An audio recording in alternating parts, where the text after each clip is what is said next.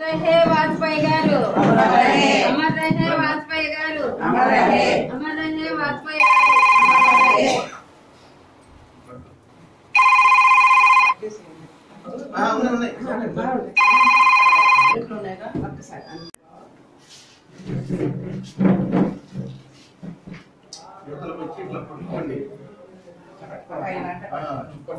దండేసి పెట్టుకోండి దానిలో జరగండి కొద్దిగా వెనక్కి మీరు పట్టు మీరేగా ఉన్నట్టు తీసుకోండి ఇచ్చేరా పట్టుకోండి. ఇంకా పట్టుకోండి.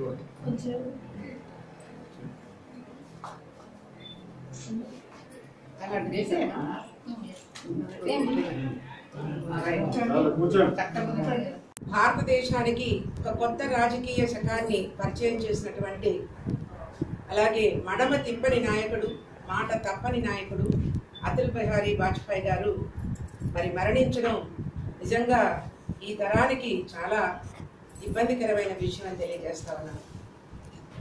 ఆయన చూసి ఈ తరం వాళ్ళు నేర్చుకోవాల్సినవి ఎన్నో ఆయన చిన్ననాటి నుంచి చివరి దాకా కూడా ఆయన పాటించినటువంటి ఆశయాలు మనందరం కూడా అమలు పెడితే కానీ ఈ భారతదేశానికి ఈ యొక్క ఇబ్బందుల నుంచి బయటపడమని అనిపిస్తా ఉంది. నేను మంత్రిగా పనిచేసినప్పుడు ఆరోగ్య శాఖ మంత్రిగా పనిచేసినప్పుడు ఆయన ప్రధానమంత్రిగా ఉన్నారు. చంద్రబాబు నాయుడు గారు మాట ఎంతైతే చెప్పారో ఆ మాటని తూచా తప్పకుండా ఆయన అమలు చేసేవారు.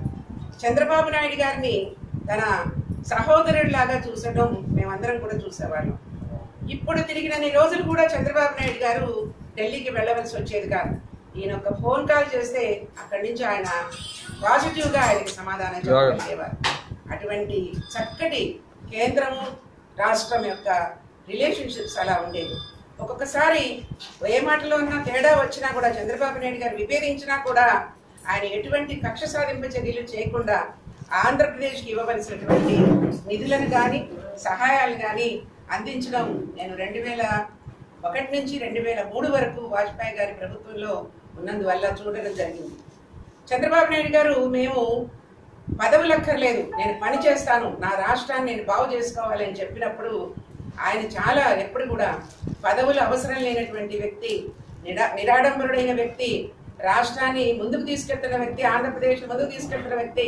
కనుక ఆయన ఏది అడిగినా కూడా మనం కాదనకూడదు అని ఇచ్చేటువంటి వాజ్పేయి గారిని తలుచుకుంటా ఉంటే నిజంగా ఇవాళ వాజ్పేయి గారే కానీ ఇవాళ ప్రధానమంత్రిగా ఉండుంటే రాష్ట్ర ఎవరిని కూడా ఇబ్బంది పెట్టకుండా భారతదేశ సమైక్యత కోసం ముందుకు వెళ్తారని కోరుకుంటూ ఆయన మన ఆయనకి మనశ్శాంతికి భగవంతుని ప్రార్థిస్తూ ఆయన కుటుంబానికి దేవుడు అండదండలు అందించాలని నేను కోరుకుంటా ఉన్నాను. తగ్గిస్తూ సుదీర్ఘ రాజకీయ చరిత్ర కలిగినటువంటి వ్యక్తి నిరాడంబరులు మరి దేశాన్ని ఎక్కువ కాలం పరిపాలించి మంచి పేరు ప్రతిష్టలు తెచ్చుకొని అన్ని పార్టీల వారిని సమన్వయపరుచుకుంటూ మరి ముందుకు సాగి ఒక దశ దిశ నిర్దేశాన్ని మన భారతదేశానికి చూపించినటువంటి గొప్ప వ్యక్తి అటల్ బిహారీ వాజ్పేయి గారు.